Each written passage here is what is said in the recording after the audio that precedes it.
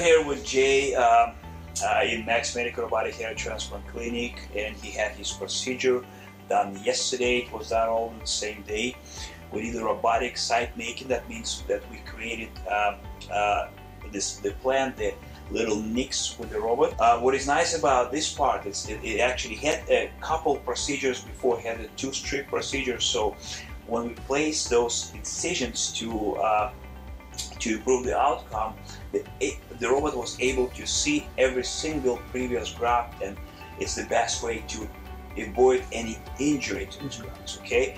Um, and then we continued and we did the robotic uh, uh, harvesting and and um, and we placed the grafts right where it needs to be. Uh, as you can see, it's doing perfectly fine. you can share some of the experience from yesterday. Yeah, absolutely. I, I mean, I, like you said, I've done, like Doctor said, I've done two before this. Uh, this is by far and away a better procedure. Um, it took much longer, but in a good way. The recovery was significantly less painful. Uh, I could tell that it was much more effective when I did the strip surgeries. I think they're taking three grafts into one placing where you do one, one, one, and I felt just looking in the mirror, I could tell it's significantly better, much more effective this way. And it's also more natural because yeah. uh, the robot takes the actual follicular unit and, it, and we preserve it as it is intended to be. So yes. if you have a follicular unit with three hairs, we're going to take the robot can selectively target those follicular units with higher density. Yeah. So you actually you get it, let's say at 1500 grams, like like uh, yep. Jay did okay, he actually got about 5,000 hairs. Okay? Yeah. That's what is important to realize that graft is not equal hairs in robotic hair restoration.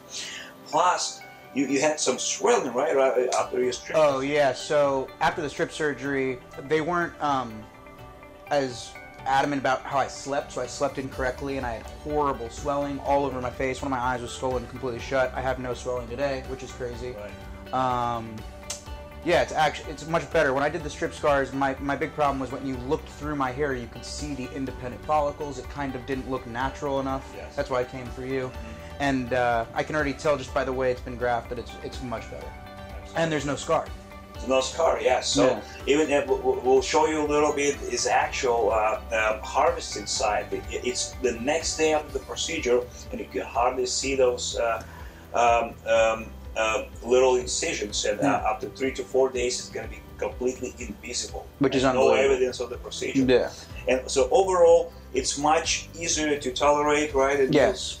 Think the, the pain level is pain level was better. Um, there was nothing. The real issue for me personally with the strip mm-hmm. surgery was even though you don't feel them making that strip, you feel yes. it. There's no pain, but you can feel what's happening, and it's traumatic, you know. Yes. Versus there is no scar. I don't feel you ripping this out of my head. Right. It was boom, boom, boom. It was longer, but I would much prefer the time being longer in the surgery with this one versus doing it quicker with that strip scar. I would. Right. I didn't want to do that ever again. Yes. This one I could do. So this one was I'm bearable. yeah, yeah, yeah. You're, you're, you're, you're comfortable, even to, to yeah. a little longer, right? Yeah. Okay. Very comfortable. Perfect. Yeah. So we'll keep you updated. Uh, uh Jay is going to be back for his PRP treatment. We we give uh, PRP treatment right uh, at two months, and then another treatment, and we'll, uh, we'll, we'll get we'll keep you posted. Cool.